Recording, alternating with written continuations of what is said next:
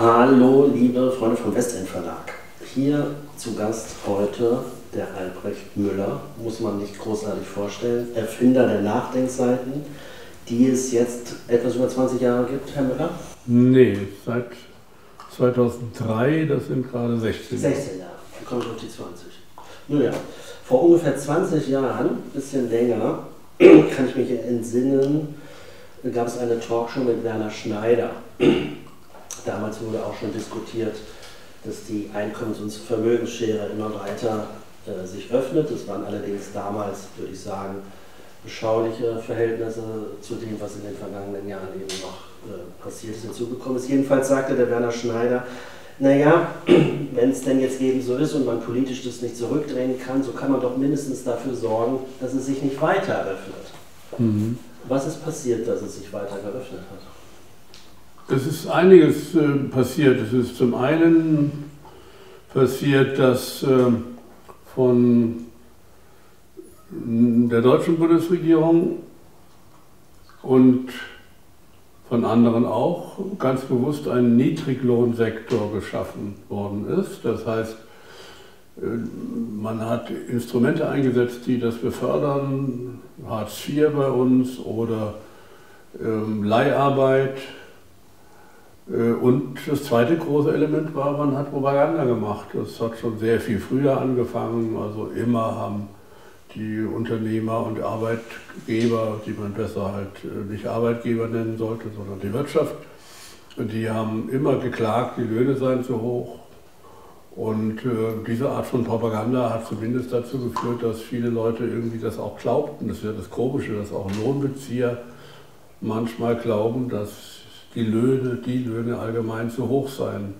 Also sie setzen nicht unbedingt bei sich selbst an, aber ich könnte mir denken, dass manche auch persönlich bereit sind, ein Opfer zu bringen, damit die Wirtschaft floriert. Und diese Art von Propaganda äh, kombiniert mit der politischen Untat, nämlich äh, ähm, die soziale Sicherheit der Menschen, eben speziell die Arbeitslosenversicherung wegzunehmen und anders zu gestalten, äh, mit Hartz IV und mit Agenda 2010, das hat dazu geführt, dass es nochmal einen Schub gab, aber der ist nicht erst mit Schröder gekommen, das zeichnete sich schon in den 90er Jahren des letzten Jahrhunderts an, dass die Löhne stagnierten im Vergleich zu den zu den anderen Einkommen, zu den äh, Unternehmereinkommen und Kapitaleinkommen. Das hatte wiederum sehr viel zu tun, was viele Linke auch nicht glauben wollen, äh, viel damit zu tun, dass man eine äh, negative, eine, eine schreckliche ähm, Wirtschaftspolitik betrieben hat, nämlich äh, nach Keynes eben umgekehrt, nicht äh, ankurbeln, sondern depressiv behandelt hat. Markante Beispiele oder markante politische Taten dieser Art waren die Zinserhöhung der Bundesbank im Jahre 1992 auf 8,5 Prozent. Das hat richtig den Einheitsboom von der 90, des Jahres 1990 folgende abgewürgt und hat dann weitergewirkt, das ganze, die ganze Zeit ähm, der 90er Jahre. Und dann kam eben Schröder und hat nochmal eine draufgesetzt, übrigens mit der Begründung, dass nicht die Konjunktur schlecht sei, sondern die Arbeitsmarkt so schlecht sei. Wir hätten so viele Arbeitslose, ist mir letztens noch mal auf den Tisch gekommen, was da behauptet worden ist. Und weil die Arbeitslosigkeit so hoch ist, deshalb muss man die Sozialkosten senken und muss die, den Niedriglohnsektor einführen, damit wir wieder wettbewerbsfähig werden. Wir heißt wir, heißt die deutsche Volkswirtschaft, die deutsche Wirtschaft. Und da ging es nicht um die Leute, die lohnabhängig arbeiteten, sondern es ging um die, die halt Gewinneinkommen haben. Jetzt ist es ja aber so, äh, dass die Leute dann äh, aus den Statistiken raus sind, weil sie irgendeinen Minijob haben oder was auch immer, aber von denen lässt sich natürlich überhaupt gar nicht äh, leben, äh, geschweige denn äh, zum Beispiel in äh, Rentenkassen einzahlen äh, oder ähnliches. Äh, da wird also schon getäuscht und getrickst.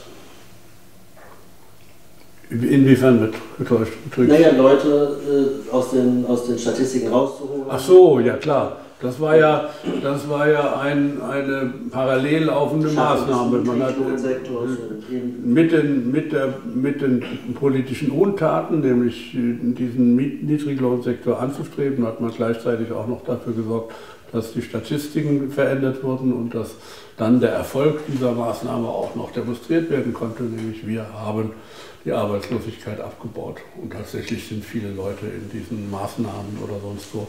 Und äh, die Arbeitslosigkeit ist bei weitem nicht so abgebaut worden, wie da behauptet wird.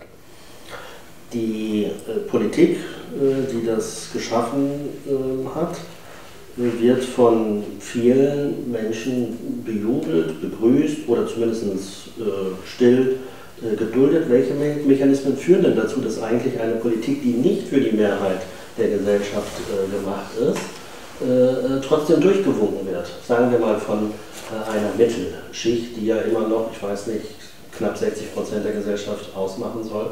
Wie, was was gibt es da für Mechanismen? Was gibt es dafür?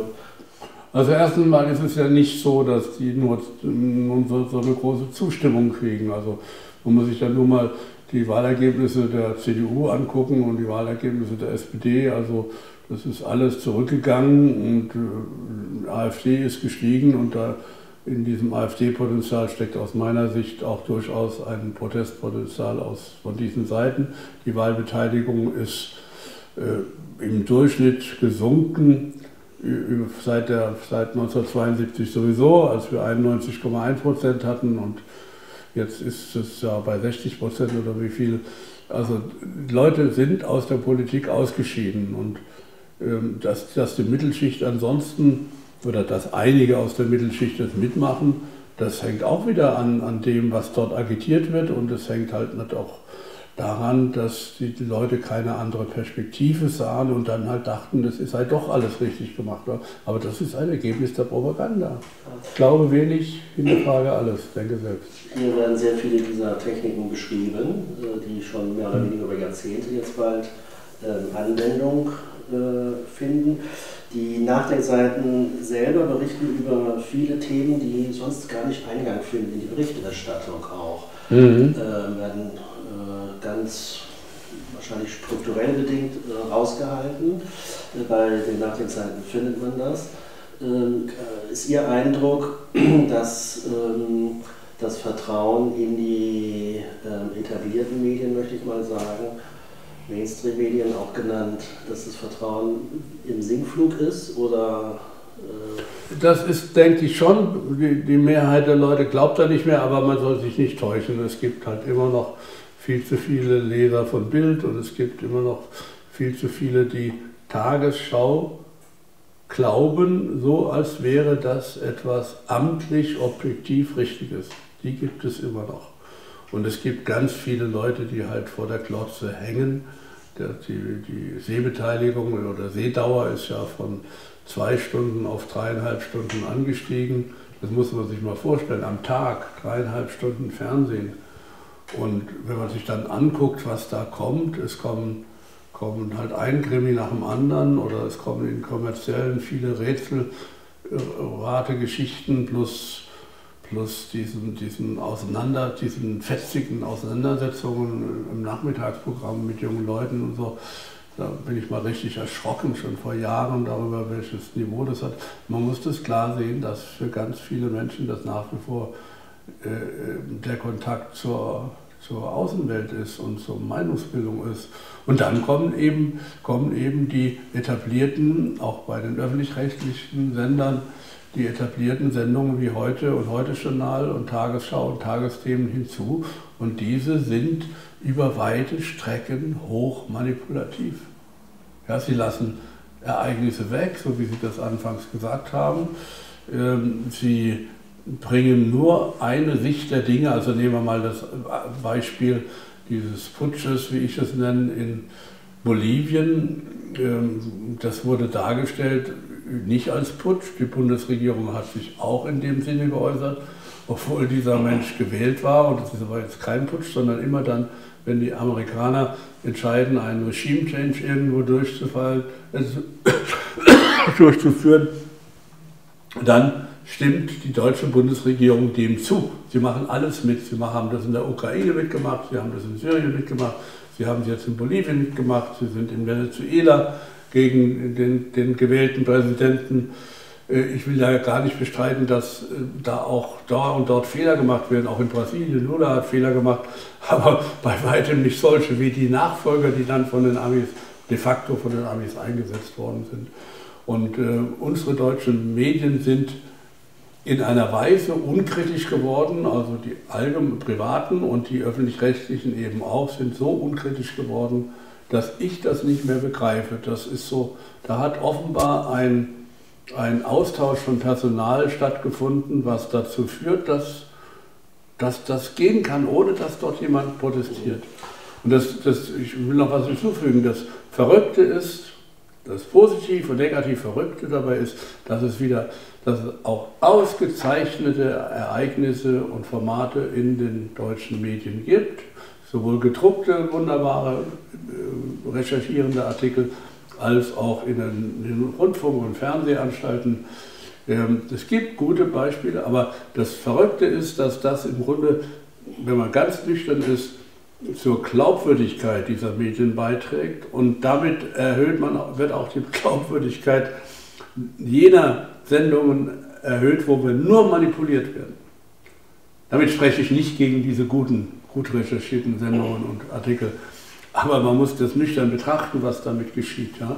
Und was ich beobachtet habe, ist eben, dass ähm, man sehr schöne Aufteilung machen kann. Die kritischen Artikel, die kommen zu und die guten, kritischen, recherchierten Artikel kommen zu Themen, die nicht in eine Kampagne passen oder die eine Kampagne der Meinungsbeeinflussung bis hin zur politischen Entscheidungsbeeinflussung nicht berühren.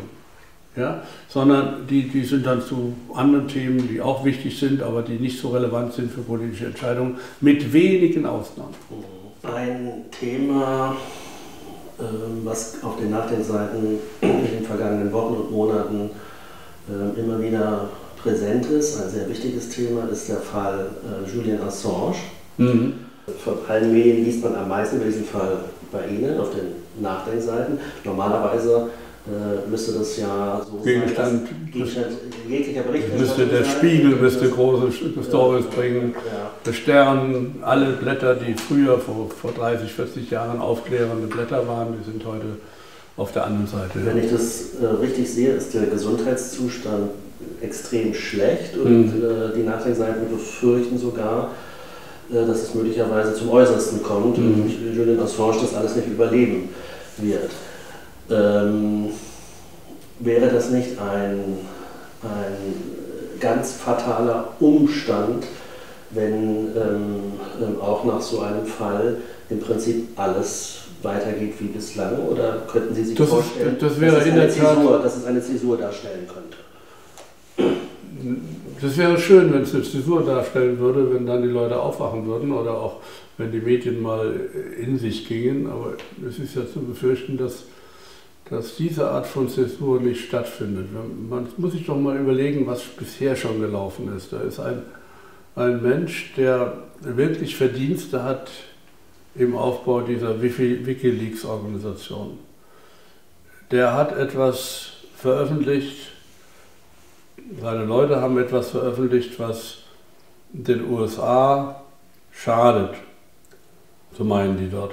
Wenn sie es anders anders disponiert wären, dann könnten Sie ja vielleicht sagen, es hat unserer Demokratie genutzt, denn es sind Machenschaften sichtbar geworden. Der Regierung in den USA, muss man dazu sagen. Der Regierung. Der, Menschen dort ticken wahrscheinlich auch ja, noch. Die ticken auch anders, aber was der Regierung oder den, ja, mit der Regierung schadet. Und in früheren Zeiten hätte man ein, diesen Umgang mit diesen Menschen der eben dadurch gekennzeichnet ist, dass er nicht gefeiert wird als Demokrat und als großer Förderer der Demokratie, sondern verhasst wird als einer, der den amerikanischen Interessen angeblich geschadet hat, dass dieser Mensch ähm, so behandelt wird, wie das jetzt geschieht, unmenschlich und möglicherweise mordend, dass das kein großes öffentliches Thema ist. Mhm. Ähm, wir haben vorhin über die sich weiter öffnende Einkommens- und Vermögensschere gesprochen. Ich möchte das jetzt mal ganz pauschal als soziale Frage bezeichnen. Daneben ähm, gibt es äh, selbstverständlich äh, die Frage nach Frieden respektive Krieg, auch gerne als geostrategisch oder geopolitisch mhm. verharmlost. Ähm, und es gibt selbstverständlich die äh, große Diskussion um den Erhalt äh, unseres Ökosystems, den Erhalt des Klimas. Ja. Äh, das sind, glaube ich, die drei großen äh, politischen Felder, äh, die uns, egal wo auf dieser Welt, beschäftigen. Welches von diesen drei würden Sie sagen, ist möglicherweise eine Art Nukleus, aus dem sich die anderen ergeben? Oder wenn dies gelöst wäre, würde, man, würde, wäre es auch leichter. Also den Zusammenhang zwischen Klima, äh, Klima und Krieg und Frieden sehe ich nicht in dieser Art. Äh, das kann oder wird voraussichtlich beides sehr bedrohlich für uns. Aber ich sehe den Zusammenhang, also die gibt es natürlich, also es gibt äh, kriegerische Auseinandersetzungen wegen Klimveränderung, aber, aber äh, der drohende Krieg hier bei uns, möglicherweise ein Atomkrieg, der hat jetzt nicht unbedingt etwas mit der Vernachlässigung des Klimathemas zu tun. Das muss man ganz klar sehen. Ähm, ich erst mal ein bisschen was zu diesem Krieg- und Frieden-Thema sagen. Ähm, ich war mit jungen Jahren schon als äh, ganz junger Mensch, als Jugendlicher politisch engagiert. Das hatte was mit Krieg und Frieden zu tun. Mein Elternhaus, da liefen, kamen viele Ausgebombte und Flüchtlinge und Kriegsgefangene durch und alle hatten auf dem Lippen nie wieder Krieg. Und dann habe ich erlebt, wie schon 1950 ähm, Adenauer die Wiederbewaffnung eingeführt hat. Und das war der erste Schritt dazu, dass man doch noch irgendwie Krieg führen könnte, mal irgendwann, wie jetzt. Äh, und damals gab es Widerstand von dem späteren Bundespräsidenten Heinemann und einigen seiner Freunde. Da war ich schon politisch engagiert und habe Plakate geklebt in der damaligen Zeit. Und, äh, aber das war ein tolles Thema und ich habe das in dem Buch beschrieben und es gab schon Leser, die gesagt haben, das habe ich alles nicht gewusst. Ich habe nicht gewusst, dass es damals einen Widerstand gegen die Wiederbewaffnung gab. Ich habe nicht gewusst, dass es die Chance gegeben hätte, die deutsche Einheit damals schon zu erreichen, wenn wir verzichtet hätten, in die NATO zu gehen, wenn wir neutral geblieben wären mit der DDR zusammen und dann eben wieder vereinigt. Welch eine tolle Chance mit Vermeidung von Chancen, von vielem Leid hätte, wäre das gegeben. Und das ist nicht einmal geprüft worden von der damaligen Regierung. Ich setze das davor, dieses Beispiel, weil sich daraus auch vieles andere in meinem Engagement dann in, in der eigentlichen Entspannungspolitik der 60er und 70er Jahre ähm, erschließt und ableitet oder weil das einfach weitergegangen ist. Und da habe ich eben gelernt, was, was wichtig ist bei Willy Brandt und Egon Bahr und anderen, dass man sich, dass, ja, dass wir, dass, dass die amtierende Politik, dass die führenden Leute gesagt haben, wir müssen Vertrauen bilden, um uns zu verständigen. Wir müssen uns in die Lage von denen versetzen. Das heißt, wir müssen auch endlich mal begreifen, dass die Sowjetunion, die Russisch, Russen und andere Völker der Sowjetunion, dass die 27 Millionen und ein zerstörtes Land hinnehmen mussten 27 Millionen Tote. Ja? Äh, das müssen wir mal begreifen. Und jetzt wache ich auf, nicht weil ich geschlafen habe, sondern ich wache auf, weil das so dramatisch ist und erlebe, dass alles vergessen ist. Es ist vergessen worden, dass man sich in deren Lage versetzen muss. Es ist vergessen worden, dass man Vertrauen aufbauen muss. Es wird das Gegenteil gemacht. Und die alten Begriffe der 50er Jahre, nämlich Politik der Stärke und Abschreckung, das taucht heute wieder auf als politisches Konzept. Welch ein Rückschritt. Also das ist das etwas, was mich umtreibt. Jetzt bin ich schon so alt und ich erlebe jetzt in diesem Alter nochmal eine richtige Regression, ich will es übersetzen, einen Rückschritt im Denken, im konzeptionellen Denken der Politik. Welch ein Wahnsinn. Es gibt aber äh, nicht nur diese Politik der Abschreckung. Ich glaube, von Egon Bahr stammt der Satz, äh, zu, den er zu Schülern gesprochen hat, äh, wann immer man ihnen erzählt, äh, es ging um Menschenrechte, glauben sie das nicht. Es geht immer um Bodenschätze oder um äh, andere politische Dinge.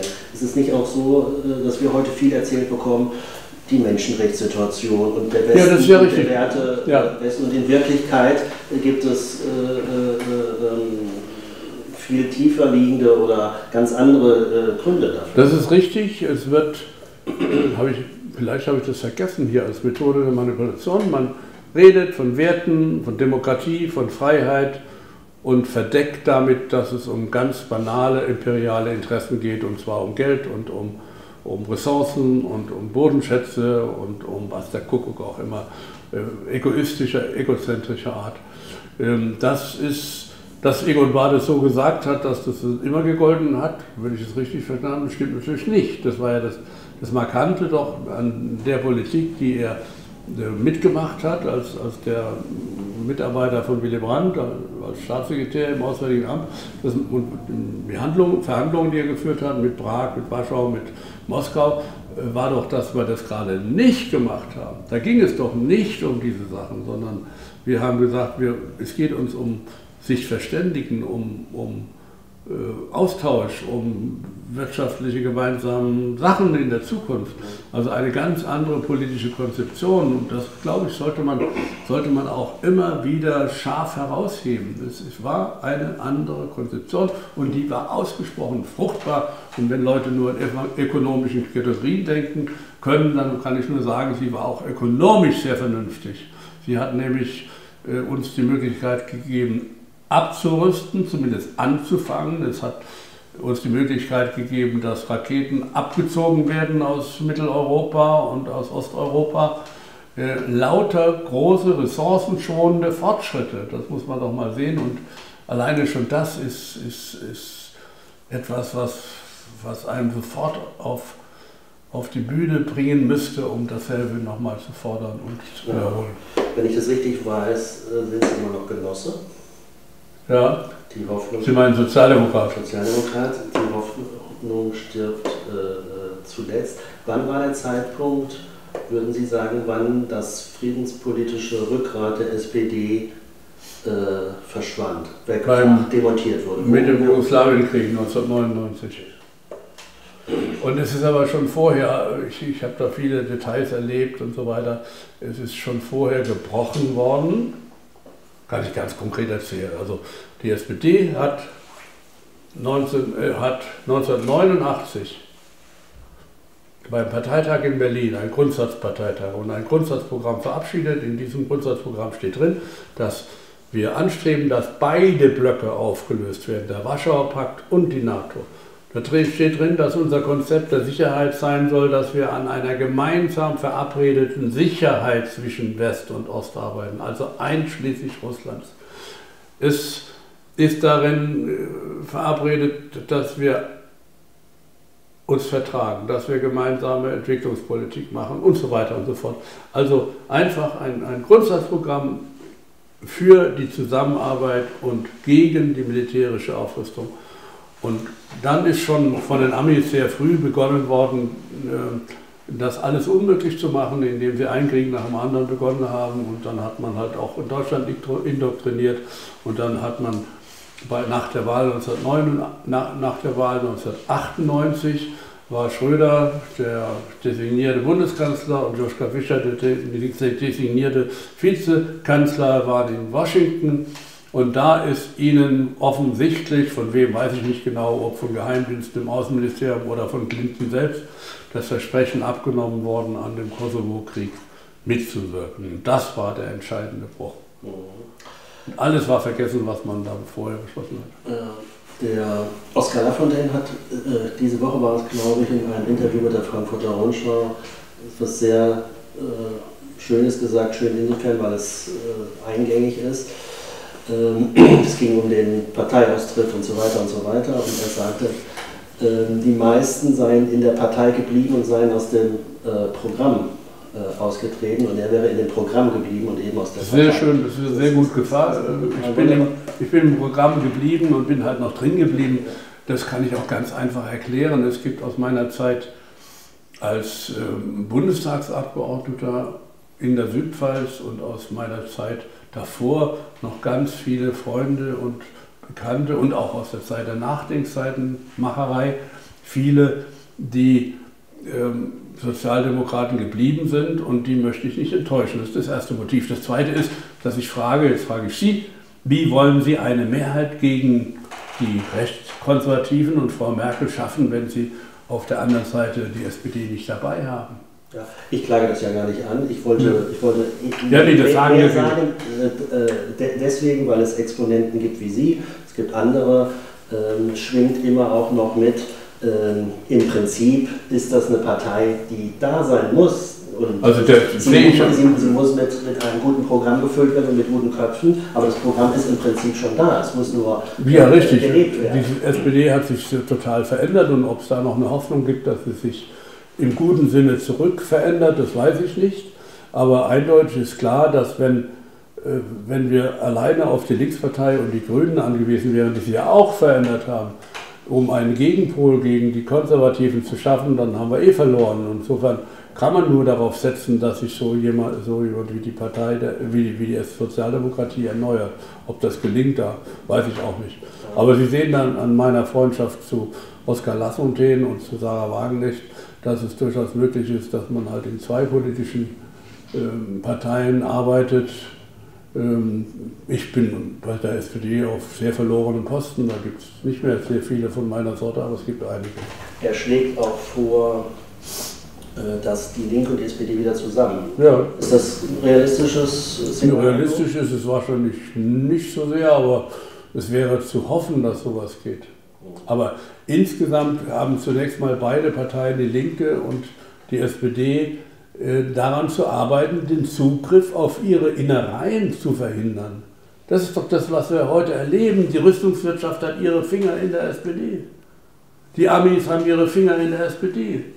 Und sie haben es in der Linkspartei inzwischen auch. Und das muss abgewehrt werden. Die Fremdbestimmung durch Außenkräfte, durch Kräfte von außen, das ist das Entscheidende, dass es abgewehrt wird, damit in, in den, Parteien wie SPD und, und Linken, und bei den Grünen ist es ganz genauso, damit da wieder die, die traditionellen, guten, programmatischen Ansätze zum Tragen kommen und nicht Leute, die gekauft sind, politisch korrumpiert sind. Das ist doch das Tragische, dass wir in weiten Bereichen politisch korrumpierte Leute haben. Also Joschka Fischer ist so eng mit Madeleine Albright gewesen, dass ich da an Unabhängigkeit nicht mehr glaube.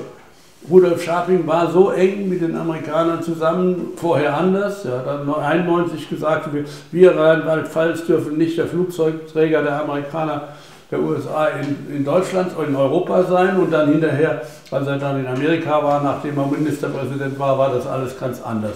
Und so können Sie einen nach dem anderen durchgehen. Wir haben Abhängigkeiten, richtig enge Abhängigkeiten deutscher Politiker von USA. Und ich sage zum Schluss nochmal was ganz Wichtiges aus meiner Sicht.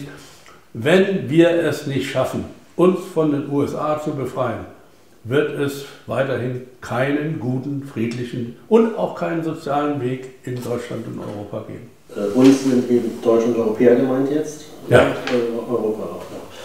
Ähm, Denn andere Länder sind doch genauso abhängig von denen. Denken Sie ans Baltikum, denken Sie an Polen. Die sind doch, die sind doch wie die, wie die der, der, der 49. oder 50. oder 51. Staat, wie viel sind es in den USA? So 50 oder was, also die nächsten zwei. Äh, ist der Satz von Macron kein Liebling äh, der Nachdenkseiten sonst? Ähm, die NATO sei hirntot, ein Zeichen aus Frankreich, dass äh, man das dort ähnlich sieht? Ich glaube, der hat es ganz anders gemeint. Der hat es nur gemeint, dass die nicht, nicht genügend äh, gut gemanagt werden. Ich glaube nicht, dass er gemeint hat, die NATO sei überflüssig. Das hätte man völlig falsch interpretiert. Zum Schluss. Entschuldigung, er meinte ja wahrscheinlich, dass wir in Europa militärisch mehr aktiv werden müssen. NATO ist tot, er braucht die Bundeswehr und andere, um die Abenteuer in Afrika zu machen und deshalb sagt er, die NATO ist tot. Also da bin ich so misstrauisch bei diesem, ja. diesem Präsidenten, dass ich ja. diese Interpretation nicht nachvollziehen kann. Ähm, zum Schluss die Frage nochmal zur SPD. Steht jetzt eine große Entscheidung an für die verbliebenen Mitglieder? Wer, wer macht das denn? Ja, das ist ja auch ein Musterbeispiel dafür, dass ähm, leider direkte Demokratie sehr schlecht funktioniert also jetzt haben die SPD-Mitglieder äh, einmal gewählt und jetzt wählen sie nochmal oder entscheiden sie nochmal, wen sie gerne haben möchten. Scholz plus Partnerin oder äh, Walter Bo Borjans. Ähm, und die Waage, Waagschale hat sich nach den ersten, nach den Eindrücken zugunsten von Scholz und Partnerin ähm, gesenkt, also dass, dass die die Mehrheit kriegen könnten. Und das ist eindeutig ein Ergebnis eines guten Managements, nämlich die Grundrente genau äh, so zu legen vor diese Wahl und den Scholz groß herauszustellen, also als hätte er das verhandelt. Es war ja nicht selbstverständlich, dass der Finanzminister im Fernsehen die Grundrente verkündet. Es wäre eigentlich eine Angelegenheit des, des Arbeits- und Sozialministers äh, Heil gewesen. Der trat nicht so auf, Scholz trat auf und auch ansonsten wird eine Propaganda nach der anderen gemacht. Und dann ist am Ende dieser eigentlich volksnah gedachte Entscheid oder parteimitgliederschaftsnahe Entscheid, der wird zu einem von den Medien und von den großen Arrangeuren der Ereignisse bestimmten Akt. Mhm. Also die Sozialdemokraten lassen sich da von den, auch an diesem Punkt von den Medien extrem beeinflussen oder haben sie nicht durch ihre Parteiarbeit vor Ort in den Kreisverbänden? Nee, das ist ja, das, das ist ja eines der Elende der, der könnte ja, man könnte ja vermuten, dort Humor ist. Ja? Nein, das ist ja, nein, das ist doch, das ist doch das war schon bei, bei der Agenda 2010 so, da hat damals noch Nahles als Linke ähm, versucht, war die Jusos oder was auch immer, ich weiß nicht genau, auf jeden Fall hat sie 2003 ähm, gesagt, wir machen eine Mitgliederentscheidung. Ich habe damals schon geschrieben, diese Mitgliederentscheidung wird von den Medien bestimmt. Die Medien wiederum sind von Gerhard Schröder und Agenda 2010 Befürwortern beeinflusst und dieser öffentliche Druck wird dazu führen, dass die Mitglieder sich so entscheiden, dass Schröder gewinnt und nicht Frau Nahles damals. Ja? Und so ist es auch jetzt wieder. Äh, es, da, da, kann man eigentlich nur, nur die Haare raufen, wie, wie sich das entwickelt hat. Eine Kollegin gewissermaßen äh, von Ihnen, eine auch bundesweit bekannte äh, Sozialdemokratin, sagte mir kürzlich, wenn es Scholz wird, ist es endgültig vorbei. Teilen Sie das? Teilen Sie teile ich schon, dass das eine, eine deutliche, äh, deutliche Verschärfung der Inhaltslosigkeit ist und er anders als er denkt äh, und weil er da, er denkt so, weil er in Hamburg mal gut abgeschnitten hat. Ich glaube nicht, dass er realisieren wird. Ich halte ihn weder inhaltlich noch vom Erscheinungsbild her für einen guten Kanzlerkandidaten. Ähm, Parteivorsitzender auch nicht? Partei, ja, Partei, ja, nee, der, wird, der will natürlich Parteivorsitzender werden, um Kanzlerkandidat zu werden, das ist doch ganz klar der wird doch als, als Vizekanzler, der, der schon komischerweise ist, wird doch nicht zurückzutreten und sagen, ich hier bin jetzt zwar Parteivorsitzender, aber das Amt als äh, Bundeskanzler will ich nicht. Das wird natürlich nicht passieren. Und dann steht er zur Wahl und dann werden die Leute er, erkennen, denke ich, dass, ja, dass der die Substanz nicht hat, die programmatische Substanz, die menschliche Substanz nicht hat, um dieses Amt auszufüllen und dann werden Sie halt einen Konservativen wählen. Herr Müller, vielen Dank für das Gespräch. Bitte, bitte. Gern geschehen. Ähm, die rote Fibel der Manipulation.